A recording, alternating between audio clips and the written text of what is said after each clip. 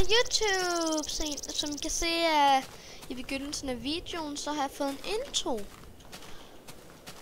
Og mange tak til, hvem var det nu, der lavede den? Boy Gaming. Her, der er en link på min Når I går ind på min kanal, så er der et link, og der er også et link i beskrivelsen. Vi ses senere, YouTube.